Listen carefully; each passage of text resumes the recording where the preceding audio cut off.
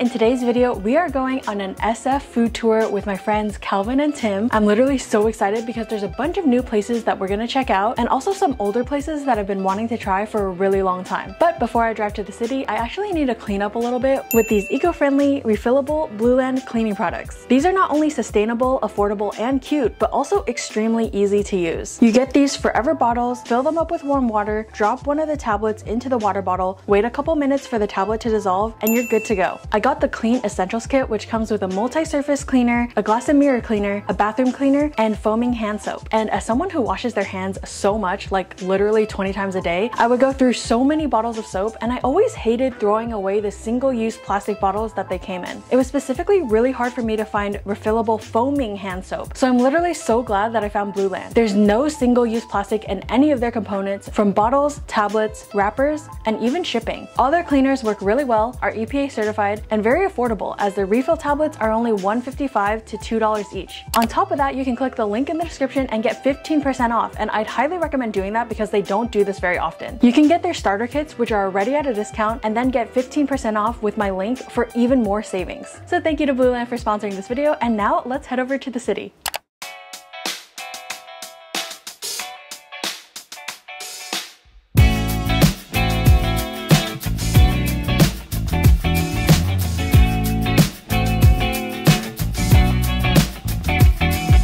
Right, so for our first stop, we went to Arsicault Bakery. Or wait, we forgot to ask them oh, how to pronounce the name. I thought this place was called Arsicault, but they kept saying that it's called Ariscolt. Is that what? Ariscolt. Ariscolt? No, Arsicault. Yeah, there's a debate on how to pronounce this, so we're gonna ask the workers. It's Arsicle. Oh. Wait, it's Arsic. There's no Arsicle. It's like It's Arsicle. Ars- Arsicle. yeah. Arsicle. Okay, so verdict is that it's pronounced Arsicle. The more you know. So I was closer though. You guys were off. well. Anyway, this place is really well known for their croissants. Like, they're known to have some of the best croissants in San Francisco. And it looks so good, so buttery, and so flaky. Like, I don't know if you guys can see all those layers. All right, let's break this apart. Oh. Oh, wait, this is the ham and cheese. I thought this was the almond one. but this makes sense that it's the ham and cheese.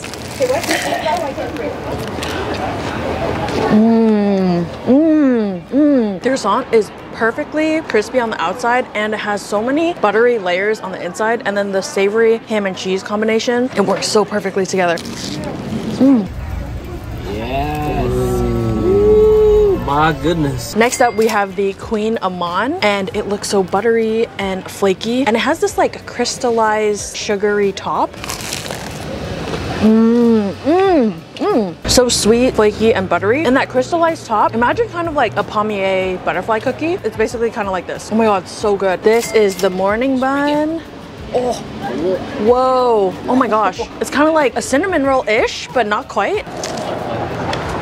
Mmm. There's definitely a cinnamon flavor to it, but then there's like a tiny hint of this orangey citrus flavor that helps cut through the sweetness. So it feels like it's not too sweet. This is the almond croissant. This looks glorious. I already feel my fingers getting buttery from it. Let's try to break it apart. Oh, oh my god. Again, with all those flaky layers. And then there's that, I believe like an almond crust type of thing. Mmm, it's good. So flaky, so buttery, so many layers. I feel like I'm saying the same stuff for everything, but honestly, it's just so good. This one is just really not too sweet. Like, oh, I've had a lot of almond croissants that are really sweet, which I don't really mind because I like sweet stuff, but this one actually is really not too sweet. Wow, everything was so good. Top two are the almond croissant and the kouign-amann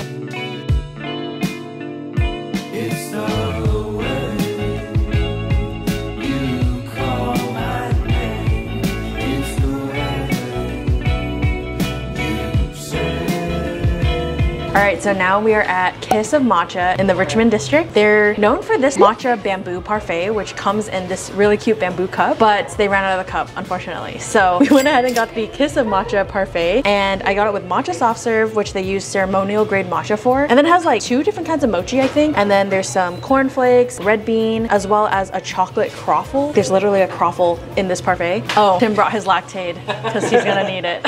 Thank God I'm not lactose intolerant. Knock on wood. Wow. Whoa. Oh my gosh, it's so strong. That's like the strongest matcha soft serve I've ever had. All right, we're gonna try one of these mochis. Should we go back? The mochi is like nice and chewy, but it's also not as chewy and bouncy as normal mochi. It's kind of almost if mochi and jelly kind of mix. It kind of has like a jelly-ish type of vibe to it. And then here's the other type of mochi. Mm, that one is like normal mochi, so it's like very chewy and bouncy. And then the other one, that one's the warabi mochi. Sometimes I buy these like matcha soft serve parfaits and the mochi is like hard and just not good. So both of these mochis are done very well. Oh, you're just tired. Oh, but It's It's very crispy on the outside and it has some chocolate, which is nice. I wasn't quite sure about the concept of putting a croffle on a matcha parfait, but I feel like it actually works decently well, surprisingly. So if you guys like strong matcha flavors, definitely check this out. And see if they have the bamboo cup when you come, because I'm still trying to track that down.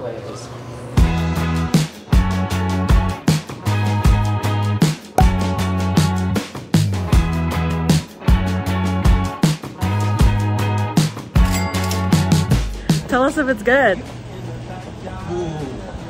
It's really creamy. I think I taste some uh, dairy in there. I'm not sure. Oh no! It's where we learn to love each other. Wrote you letters, sent a message to that day. Oh my gosh, look at these people. Just San Francisco things. So now we are at Breadbelly and I've actually been wanting to go to this place for literally years, but I've never made it out here because their hours are kind of hard to catch. Today I got their egg coffee. It looks super fluffy on top and it's actually very light. Literally it feels like there's no liquid in here and it's served with a spoon. So let me just try this fluffy foam.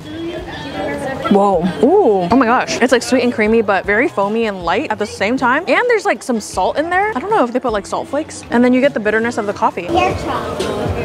Oh, I think I was supposed to just mix it from the beginning because when I drink the coffee on the bottom, it's really bitter. Okay. We also got their kaya toast, which this is the thing that I've been wanting to come here to try. Kaya is basically a jam that is made of pandan and it's very popular in Malaysia or Singapore or both.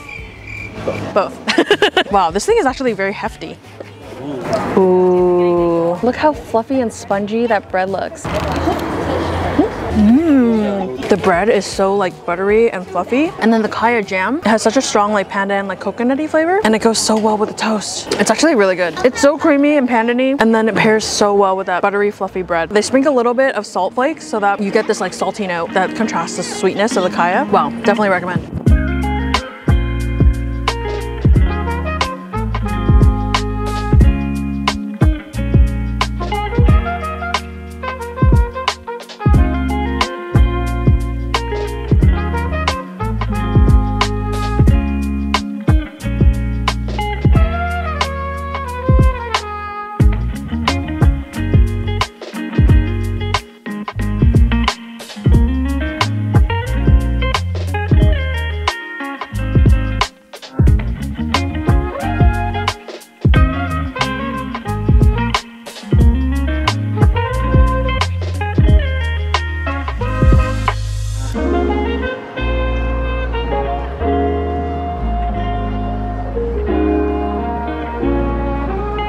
So we are at Kam Po Kitchen in Chinatown, and I haven't been to this place in years, but I used to come here all the time. I just remember their char siu barbecue pork is so good, so juicy, so tender, and so of course that's what we had to get. So the meat looks super good. It's like glistening in the light.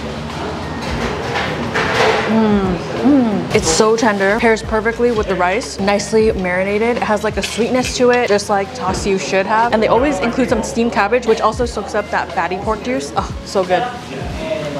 Mm. Mm. I feel like this is a Chinatown hidden gem because not that many people know about it. But I've been coming here for years and it's so good. And then they also have this huge slab of pork just hanging and we were like, we have to order that. Here we have the pork belly and it has the crispy top. That is the best part. Mm. Mmm, so salty, so you need that rice. So fatty and tender. And then you get that crispy skin on top. Oh my gosh. And then the best part about these rice plates is that it has like all these fatty juices and it drips all over the rice and it makes the rice so flavorful and comforting and delicious. If you guys are ever in SF Chinatown, definitely hit up this spot. So underrated.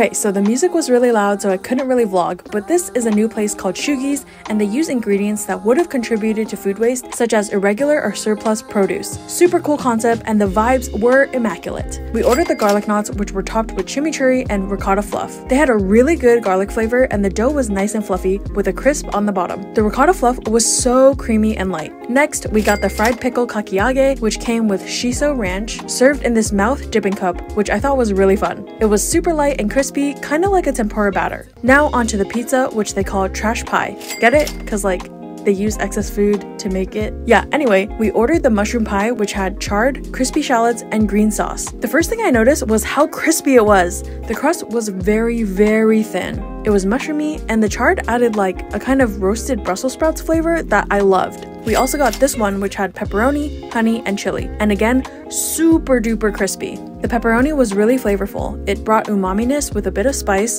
the tomato sauce had a tang to it, and the honey added a hint of sweetness. Pro tip, they charge extra for ricotta fluff, but since it already comes with the garlic knots, we just used the fluff from that to complement the pizza. Overall, a super fun and cool spot to check out with delicious food and helping prevent food waste, which is a huge plus. As our last stop, we walked over to one of our favorites, Garden Creamery. They have so many unique and amazing flavors, but my personal favorite is the ube pandan. Anyway, comment below what your favorite food was from the video because I love reading those. And yeah, if you guys like this video, make sure you hit the subscribe button and turn on the bell so you get notified when I upload. Give this video a thumbs up. And here's today's comment shout out. Thank you so much for your support. And if you want to be in the next video's comment shout out, make sure you comment something down below. And yeah, I'll see you guys in the next one. Bye!